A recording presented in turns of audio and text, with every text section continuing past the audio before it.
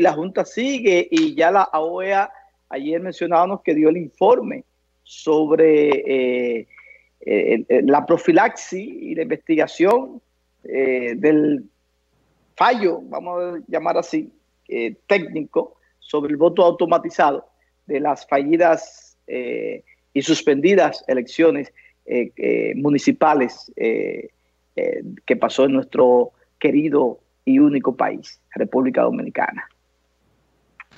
Sí, mira, así es. En las pasadas elecciones fallidas del 16 de febrero que se pospusieron para este pasado 15 de marzo, este martes la Organización de Estados Americanos, OEA, entregó el informe a la Cancillería Dominicana eh, que remitió pues a la Junta Central Electoral un informe de 45 páginas donde simplemente de mi parte hay dos puntos que resaltar. El primero de ellos es que dice que no hubo evidencia de sabotaje o intento de fraude en el sistema. Y en segundo, responsabiliza de las fallas a la mala gestión de la Dirección de Informática de la Junta Central Electoral a cargo de Miguel Ángel García, quien pues en primera instancia fue suspendido y pues a raíz de este informe ya pues queda eh, fuera del organigrama de la Junta de manera no, eh, no eh, hoy, hoy la Junta informó la destitución de quien era el, el encargado, director nacional de informática,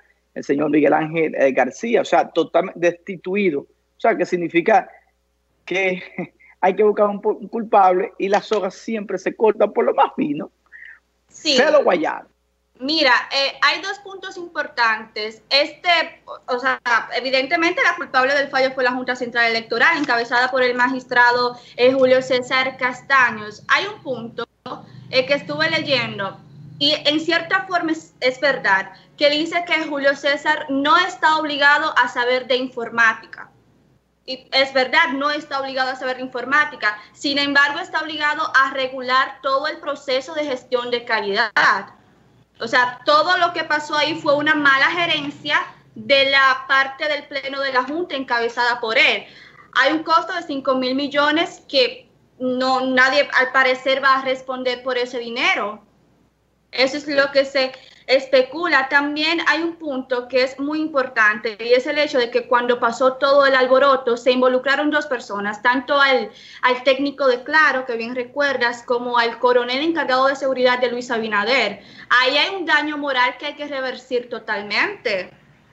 Sí, que de hecho el, el, coronel apresado eh, por sabotaje se aquerella, el coronel de la policía Ramón Antonio Guzmán Peralta, quien fue apresado el día siguiente de las elecciones municipales, eh, eh, que fueron suspendidas, como tú mencionaste, eh, se acaba de, de aquerellar contra los responsables de que, ejercieron este apresamiento sobre él, donde se nota y se reconfirma que realmente no tuvo nada que ver con esto, igual que el técnico de Claro, que fue interrogado y que fue todo un espectáculo eh, parecía como si fuera una película, una serie de, Netflix. Y bueno, eh, vamos a ver el curso que se le da porque eh, recordemos que la vida continúa con todo y COVID, aunque se suspendieron las elecciones, pero tenemos para el mes de julio, junio, perdón, para el 5, si no me falla la memoria. Es julio.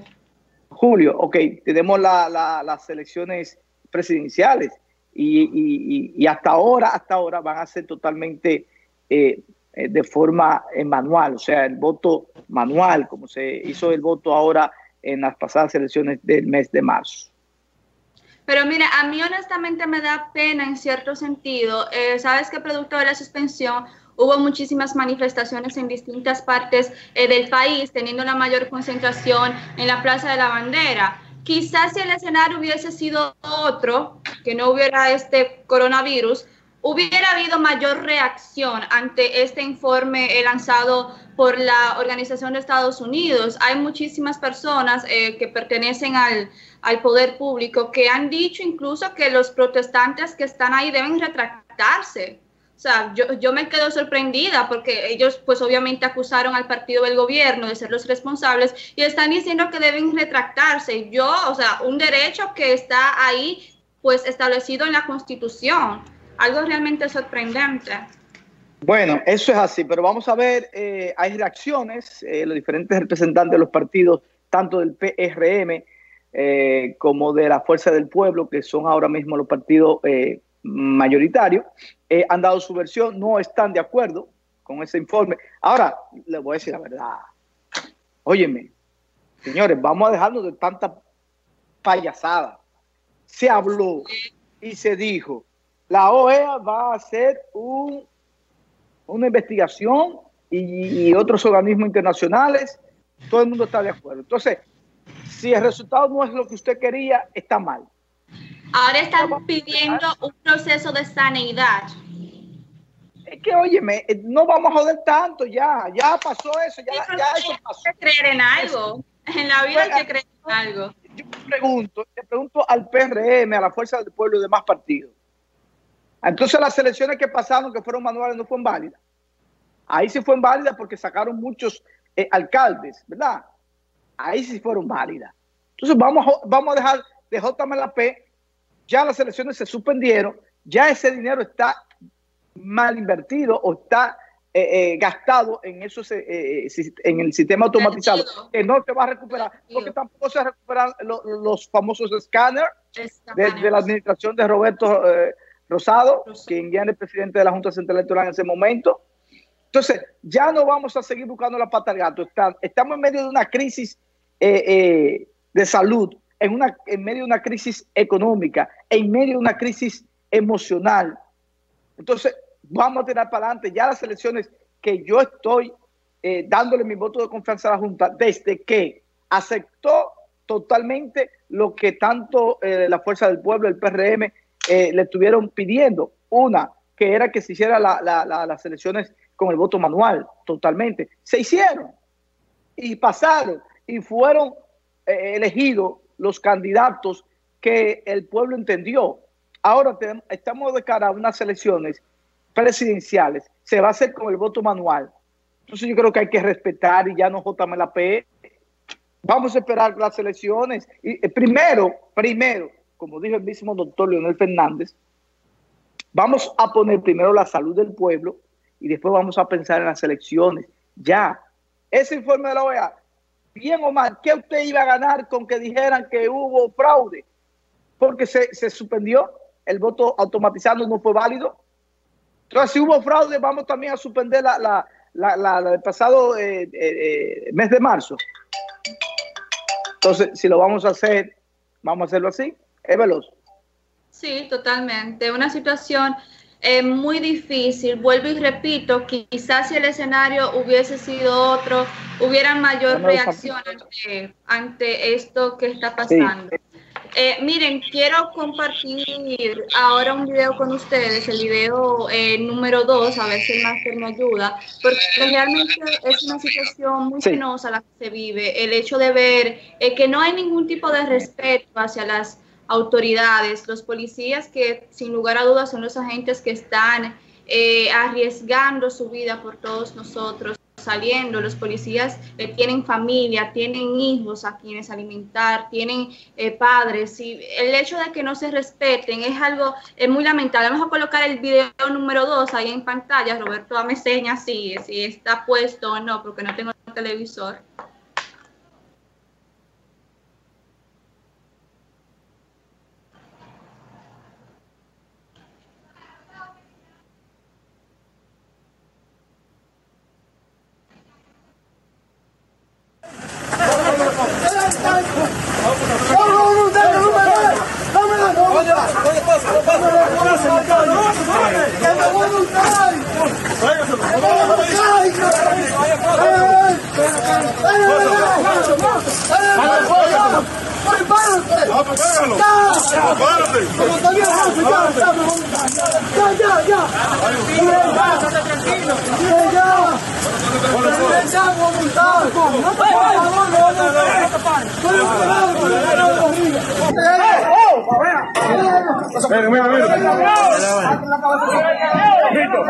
Es el camión que tiene seguro. ¡Ya! ¡Ya! ¡Ya, por favor! caballero, ¿Cómo lo ¿Cómo lo ve Tenga rompiendo la mano, me dice, que te tranquilo.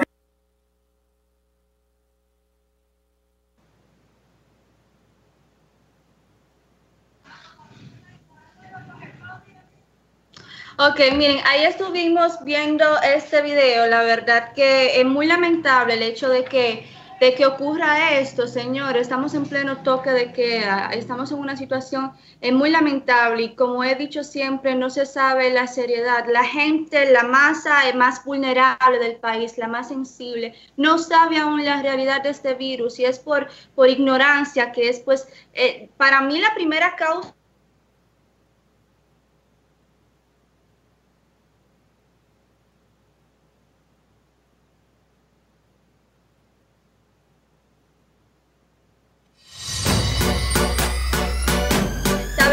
ese video ocurrió en, ese video ocurrió en el sector de los jardines aquí en San Francisco de Macorís y a esa persona eh, se le acusa pues de supuestamente tener drogas. Digo supuestamente porque a mí realmente no me consta. Es una situación es súper difícil realmente y realmente la policía tiene que hacer y utilizar la fuerza cuando entienda que sea necesaria, porque es que no está una línea de respeto marcada entre los ciudadanos y los agentes eh, del poder, Roberto.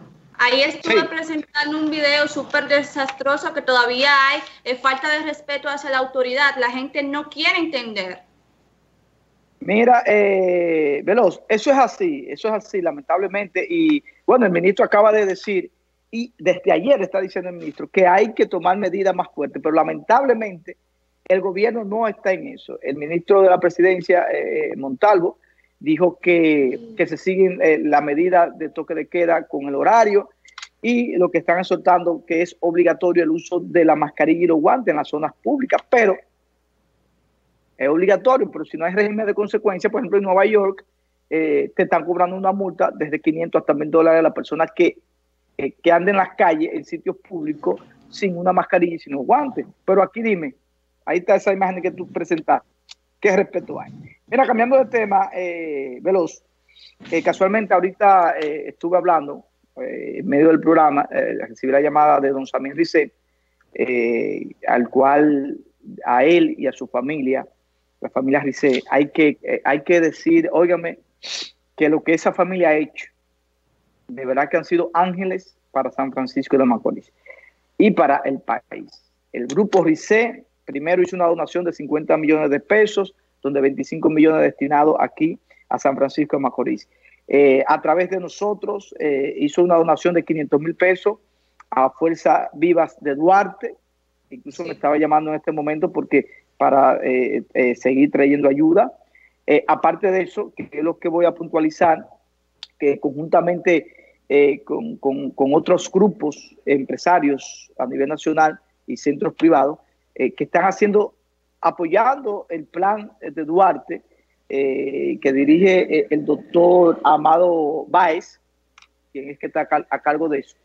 en, lo que fue la videoconferencia que hicimos con el doctor Báez, nos dio la primicia que precisamente el grupo RICE, encabezado por don Héctor RICE y Samuel RICE, hicieron un acuerdo con Cementerio Fuente de Luz,